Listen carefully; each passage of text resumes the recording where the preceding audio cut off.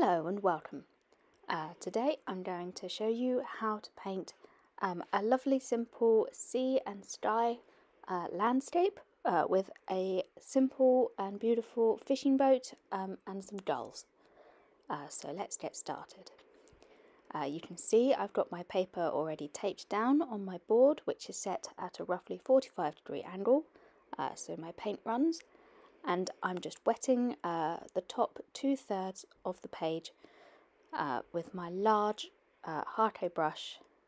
And because this is going to be the sky I want a lovely big uh, vast expanse of blue sky here. So what I've done is I'm using a mix of Payne's Grey, Prussian Blue, Raw Umber um, and a good dollop of Cobalt Blue all mixed up on my palette with a decent amount of water and you can see I'm just using really large uh, careful sweeps of my large brush to uh, pull the paint across uh, and try and get those colours the way I want them. Um, I wanted a nice sweep of blue along the top uh, which I'm putting in here and I'm just going to let the water take the paint uh, and run it down the rest of the paper which is wet. You can see already that lovely uh, cobalt blue is uh, drifting down the page with the water. Uh, you can see the water gathering at the edge there where I haven't wet the paper uh, using my brush to remove this. Uh, we don't want this um, because as the uh, paint dries it can the excess water can bloom up into cauliflowers or other sort of ugly marks that we don't really want. So while the sky is drying I'm putting in the sea now using my Hardcoat brush again, slightly awkwardly with the camera there, I apologise. Um, and I'm using a technique called dry brushing, uh, which leaves um, some white of the paper showing through, uh, which uh, mimics the lovely speckle and glint of light uh, off of the ocean.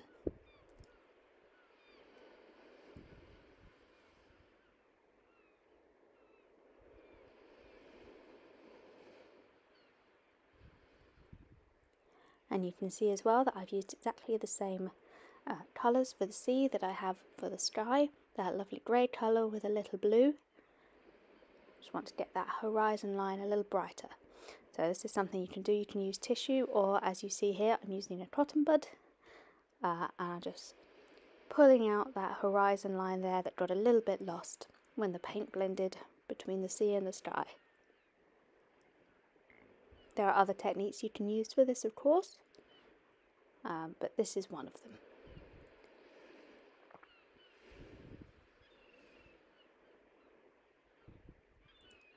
So this also is going to be a cloudy sky. So while I'm happy with this lovely drift of colour here, um, I decided to use a tissue to pull out some of the paint and reveal the white of the paper uh, in a generic sort of cloud formation. Uh, this was not done from any reference photo or anything like that. This was just simply what my uh, imagination decreed that I do. So uh, you can see me there, just a little bit of um, ordinary uh, tissue or uh, kitchen towel also would be very useful for this. Uh, just patting away there at that paint while it's still wet, uh, pulling out some of the colour and leaving these lovely sort of fluffy white uh, drift of clouds. I also decided to do this in the sea at the bottom uh, to try and give uh, the impression of a beautiful uh, reflection of the cloudy sky uh, coming into the sea below.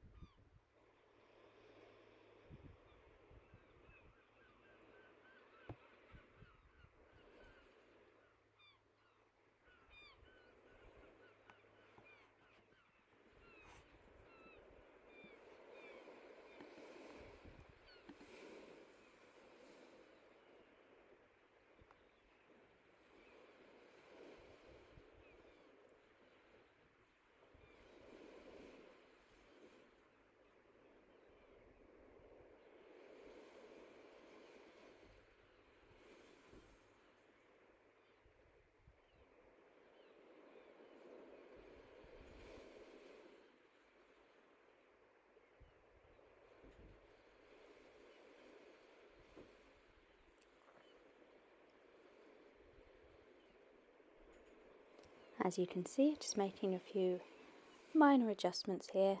Try not to tamper with it too much. It's always the problem with watercolour, that temptation to uh, to come in and start messing with it once it's on the paper. Um, but you can see here I still wasn't happy with that horizon line so I've just come in with some tissue and I'm now blotting out that part where the paint has run. Um, I folded it up and I'm using it as you can see to get a straight line out of that horizon. Can see that now looks nice and pale and there's um, there's actually differentiation between the sea and sky there.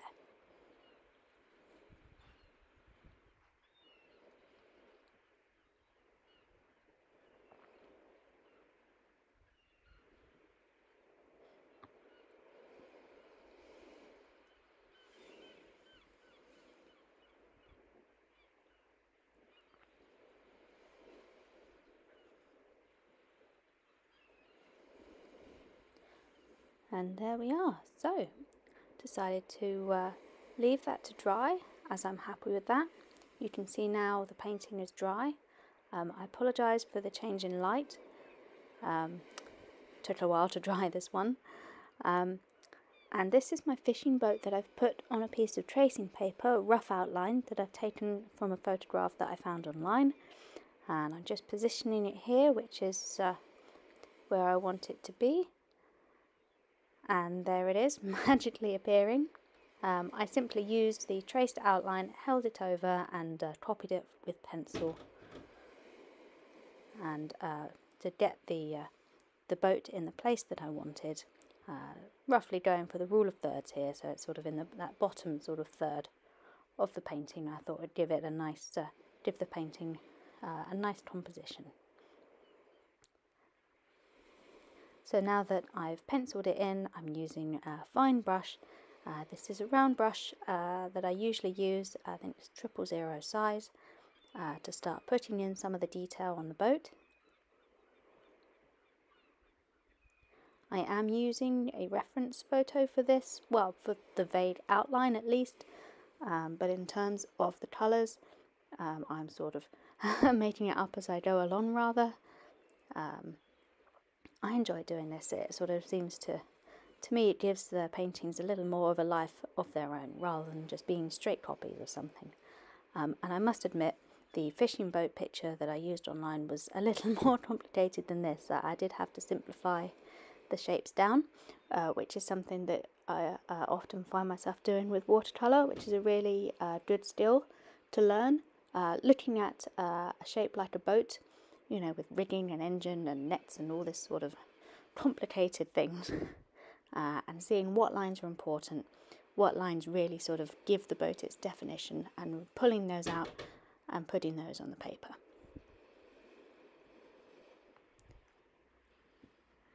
So you can see here with the hull of the boat, I'm giving it a sort of a, a bluish tint here. I'm using some Prussian blue mixed with Payne's grey to fill this in, and I've actually put a little line of uh, raw umber as well along the um, the top part of the hull there and, and, I'm allowing that to drift into the blue and give it a sort of a, uh, a sea-worn impression. I'm continuing to use uh, my little mix of Payne's Grey and Prussian Blue uh, to begin outlining the rest of the boat.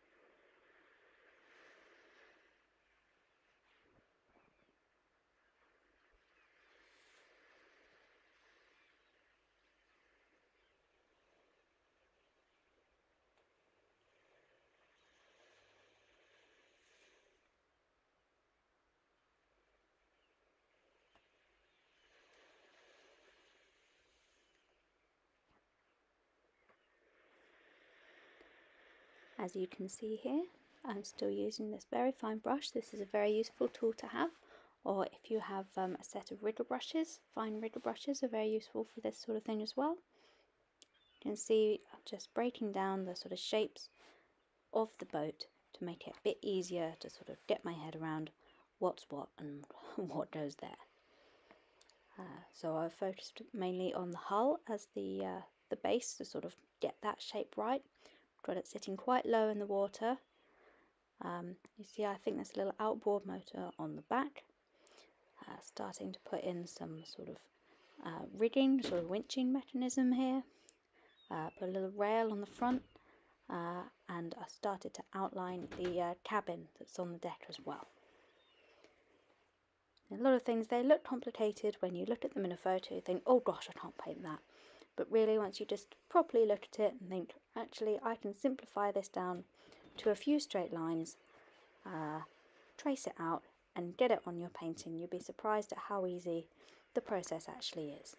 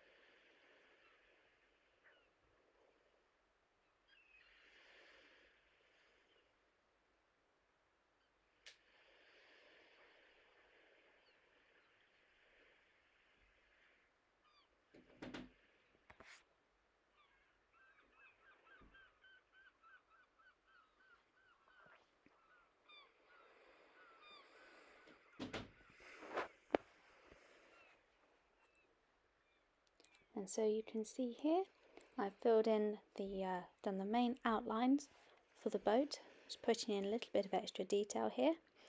Uh, putting in uh, a little bit of, a little flash of colour. I'm using light red for this.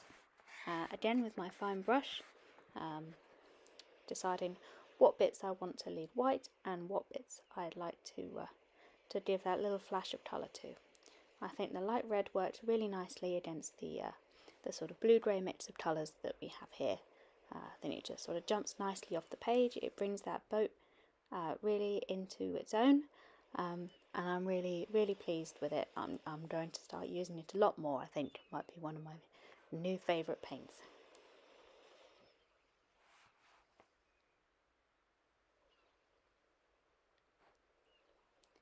You can see in these parts uh, particularly along there, that sort of part of the boat, the, the hull of the boat. Um, I've almost uh, used the brush to almost scribble on the paint. I'm leaving a little bit of white. Uh, you can see there the paint almost looks raggedy. Uh, this is deliberate. I'd like to uh, show it looking a little bit sort of careworn, almost, you know, almost like the paint has been sort of almost rusted away or washed away by years at sea, giving it a little sort of impression that this is a working boat. This isn't sort of a pretty picture postcard boat, although uh, I suppose this does look rather pretty like a picture postcard in the end, but uh, oh well. I'm pleased with this boat so far. You can see here I um, I smudged a bit, so I'm just using a tissue to um, pull up the excess water that I accidentally blobbed on, uh, and then just redoing this little part here of the cabin.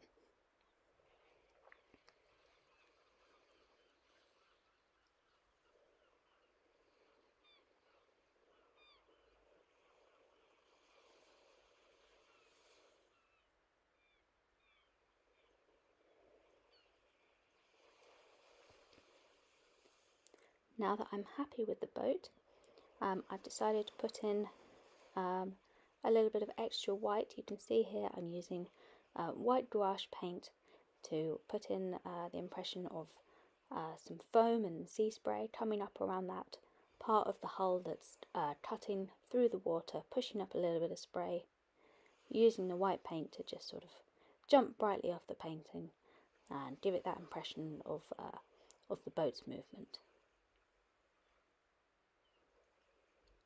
I'm only putting this around the bottom part of the boat, a little bit at the front to mimic spray coming up, uh, and I'm going to do a little line behind the boat of the white as well uh, to give the impression of the boat's wake as it's uh, travelling forwards. You can see here that I'm using my brush horizontally, holding it quite flat and using uh, using the sort of flatness, the flat line of the brush to help me get a, uh, a straight line here with the white. It's only a little thing. Um, if you don't have the white gouache and if you want to use purely watercolour, then that's fine. You don't need to worry too much about it. Uh, I just liked the impression uh, that it gives. And I'm now adding a few extra sort of faint lines in to the water around the boat uh, I'm using a small rigger brush here. You can see how long those bristles are. I'm still a little wary of rigger brushes because they tend to swing out of control very quickly in my hands, so I need a bit more practice with them. Uh, but I'm using the fine tip here to put in uh, some lines just to uh, indicate the disturbance in the water as the boat sort of chugs its way along. And for that, uh, colour wise, I'm using um, a mix of pretty much everything that's on my palette, sort of a blue grey colour, which is again, it's mostly Payne's Grey, Prussian Blue, and uh, Raw Umber to give it that slightly darker feel.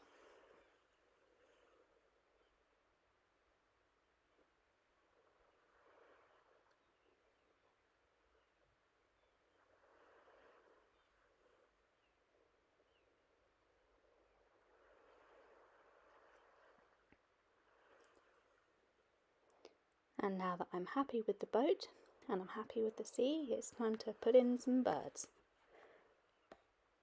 And of course, we all know that the uh, the dolls will always follow a, fishing vessel, so that's what I'm going to do. I'm going to scatter a little cloud of dolls along here. And again, I'm using my fine brush and I'm using Payne's Grey here to do um, a variety of very simple uh, doll shapes you can see I'm sort of basing them almost off, you know, the typical uh, M shape you can see is usually used as a uh, shorthand for seagulls. You can see I'm not quite doing that. Uh, sort of like a, an asymmetrical V is probably the best way that I can describe it. You can see here on this one, I've done the sort of the very, very flat asymmetrical V, and um, if you use uh, a little bit of extra paint to just darken down the centre slightly off centre if that makes sense. So it's slightly asymmetrical uh, and that shows the uh, the body of the gull in between the wings. You can see there making that one one wing slightly longer than the other because the foreshortening effect if it's uh, turned towards the viewer where the viewer is theoretically standing for this painting uh, and I'm setting them uh, at a few different angles as well uh, as they would sort of drift and cloud around the boat. Uh, you can see there, I've put them uh, drifting along the back in the wake of the boat, uh, which I assume is pulling a net filled with fish of some kind. And the dolls are, as always, ever eager for their share. their share of anybody's food. Doesn't matter if it's fish, or chips, or noodles, or ice cream, or anything you happen to be eating.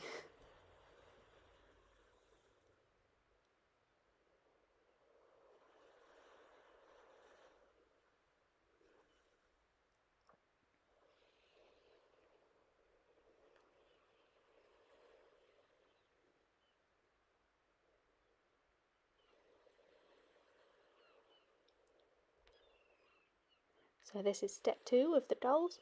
You don't need to do this, again, if you don't have the white gouache, which is what I'm using. It's Winsor & Newton white gouache. Uh, and the white is just going gently over where I've done them in quite a dark Payne's grey, uh, which worked perfectly well for silhouettes, but I decided I want sort of a, a, flash of white along the wings there. So I'm just going over along the top um, of these sort of flattened out, compressed V shapes just putting in um, little white highlights uh, along the dolls' backs and along their wings, just to lighten them up a little bit. Like I said, this is entirely optional. I think they look just fine as they are in silhouette, um, but I just wanted to give them a little extra zing and show what can be done. Again, if you don't want to use white gouache, if you like to just keep your paintings to purely watercolour, uh, this is entirely an optional step. Um, or if you like, you can use masking fluid to paint in your dolls before you do the sky wash, uh, and that will keep those little white V's clear for you. You can rub off the masking fluid later and have the dolls already uh, in their place. And here we are, the finished painting. Uh, thank you very much for watching, friends. Um, I really hope you enjoyed this. Uh, I certainly did. I love this little boat, it's uh, one of my favourites. Um, I love the dolls, um, I love the sky, uh, and I hope you do too, and I hope you really enjoyed watching. Uh, thank you again for staying to the end of this video. Please leave a like and subscribe to my channel for more art, and I'll see you in the next one. Goodbye.